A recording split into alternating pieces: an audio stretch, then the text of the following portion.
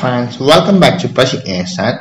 Today in this video, we are comparing the current military power of Zimbabwe versus United States and the Charles. Defense budget. Total population. Total military personnel 40,000 versus 18 lakh plus. Active military personnel 30,000 versus 13 lakh plus reserve personnel paramilitary force 10,000 versus 0 total aircraft strength 90 versus 13,247 fighter aircraft 10 versus 1,957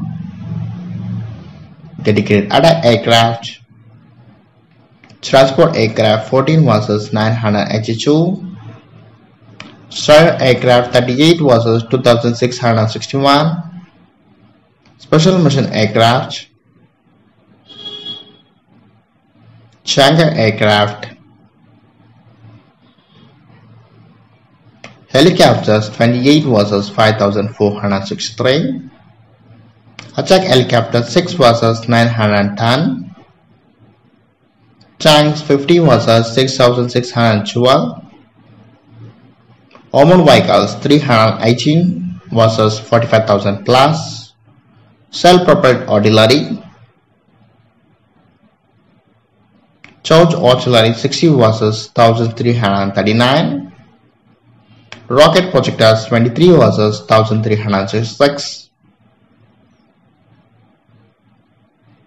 Total naval assets. Zimbabwe is an landlocked country. That's the reason you're watching 0 in the left hand side. In the right hand side, you can still watch the United States Naval Forces part. Frigates, Warwatches, Submarine 68 United States, Offshore Patrol Vessel 10 United States, mine warfare.